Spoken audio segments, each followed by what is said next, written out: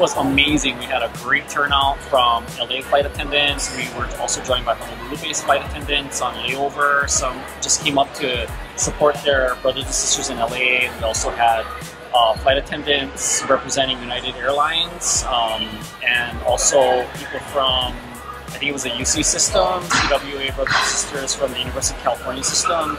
I think altogether we had 100, a little over 100, which is great because um, LA base is only 140 some odd flight attendants, so we had a really great showing.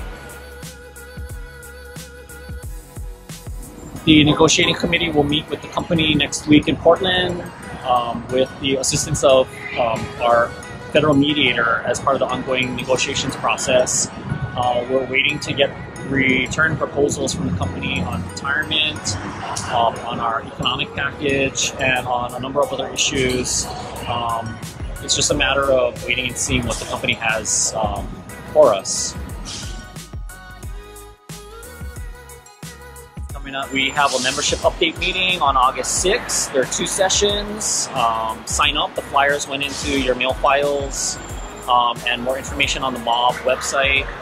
Uh, we also have uh, another picket scheduled for Honolulu um, at Daniel K. Inouye International Airport, and that's on August 28th.